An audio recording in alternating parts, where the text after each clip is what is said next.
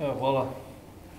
Ja ću na početku, malo drugačije, ja ću na početku pohvaliti našeg premijera s obzirom kako kažu, najbolje, najbolji premijer kad su po pitanju povlačenja europskih sredstava. Pa moram ga pohvaliti, pogotovo u segmentu onih sredstava koje je povukao da se potpuno uništi naša ribarska flota. Znači, nijedna, ništa nije bolje uništilo našu ribarsku flotu doli novac koji smo dobili od Europske unije da bi je sami uništili.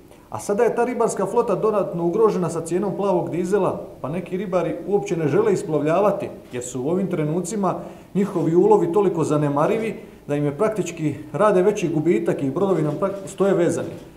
Ukoliko želimo sačuvati ribarstvo, ukoliko želimo sačuvati da ta grana na kojoj su odrasle generacije i generacije ljudi u Dalmaciji, Istri, u Primorju, u Kvarneru,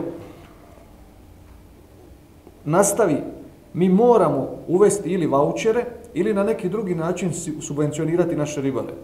Sve u protivnom vodi u jednu potpunu kataklizmu i uništenje hrvatskog ribarstva. Još bi se samo nadovezao na kolegu Pavića koji je malo prispomenuo cijenu električne energije.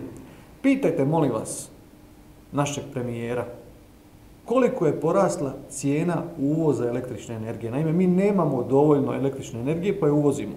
U zadnjih mjesec dana ona nije porasla 10%, 30%, 50%, čak ni 100%.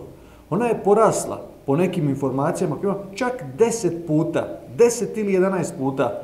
To je užasna situacija u kojoj se mi moramo ne samo snaći sada, nego dugoročno razmišljati o tome da naša energetska politika bude takva da, da ne, ne ovisimo o uvozu električne energije, jer će u protivnome cijene kod nas početi divljati i inflacija će biti tek uvod u ono što će se događati na tržištu u budućnosti.